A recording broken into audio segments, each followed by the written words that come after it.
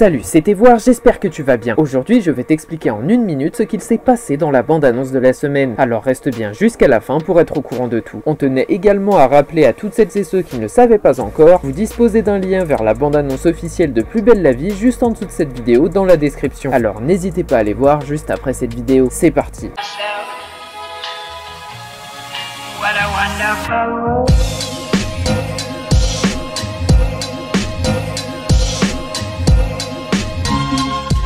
La semaine dernière, la police a ordonné une reconstitution du gala qui a failli causer la mort de Thomas pour tenter de retrouver le ou la coupable. Leur plan a fonctionné car Ariane et Patrick ont finalement réussi à faire avouer la commissaire Liao d'avoir visé sur Mario Rossi pendant la fête. Pour cette semaine dans Plus belle la vie, Liao est interrogé au commissariat par ses collègues qui l'accusent d'absolument tout dans l'affaire en cours. Le problème c'est que Liao avoue avoir visé Rossi pendant le gala, mais elle refuse de payer pour le meurtre de ce dernier qui ne serait apparemment pas de sa faute. Au Mistral, Thomas demande à Kylian de s'occuper un peu de l'administratif et plus précisément du paiement des cotisations du bar. Le jeune homme n'ose pas dire à son frère qu'il ne sait pas du tout comment ça fonctionne et il préfère s'enfoncer dans son mensonge en prétextant avoir tout fait correctement. Puis Luna, Blanche, Jennifer et Barbara partent en dans un restaurant marseillais mais tout ne va pas vraiment se passer comme prévu. En effet, les quatre amis sont suivis par un homme très dangereux et en voulant se défendre, elles deviennent alors complices d'un terrible qui pourrait bien intéresser la police. La vidéo explicative est terminée, j'espère qu'elle t'a plu, si c'est le cas n'hésite pas à déposer ton like et éventuellement à t'abonner pour suivre les prochaines vidéos. Salut